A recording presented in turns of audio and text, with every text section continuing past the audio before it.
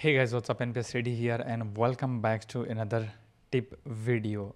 Today I'm going to show you how I use, how actually I add glow into my videos whenever I use any object which has emission, how I do or how I basically add glow in compositing. I will show you both After Effects and Blender methods. So right now we, we are inside Blender and this is our previous tutorial. So let me play one time. So this is a simulation where these balls are moving inside this phone based on the tracking and our real actual movement so if you're interested go and check it so if you'll notice we have actually a glowing light inside the phone so first thing first if i'll go here and choose this as a compositing so this is the render layers uh, setups which i can export okay? So to see the compositing magic live into your live into here i will click here and choose compositor and choose always. The file output here. I will do the rendering. And this is the viewer which will be uh, which if you'll add anything over here this will be visible over here. Okay?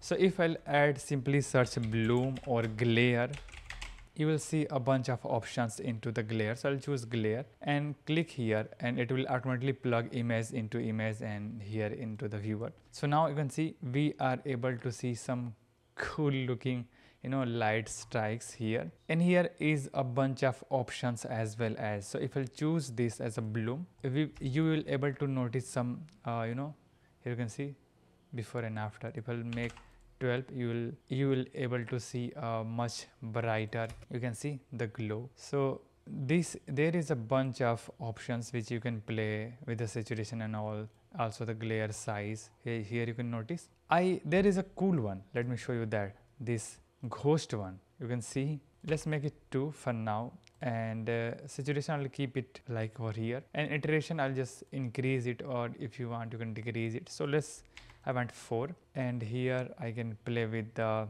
color modulation and let me play. So you can see look at these cool streaks. Okay so this is a one way which you can do. So let's suppose you like the bloom like this one. So if I press M to mute you can see before and after. And let's add 5 let's suppose 5 and if you like this then plug this image over here. So this will be also render. Okay so this is a one way. The another way is using After Effects. So if I'll go here to the passes and I already enable the emission pass. So here you can see this is emission pass and it will only work if you have emission into your scene. So right now you can see we have this emission. So if, let me mute this. So you can see we have these emission layer. Okay. Let me go to the composition. So once you render this and once you import everything like here if you'll uh, let me reset this and solo this layer so if I'll go to the layer and choose emission, so now you can see we imported that and if you'll uncheck this and here I will, this is by default and if I'll change this blending mode to the add,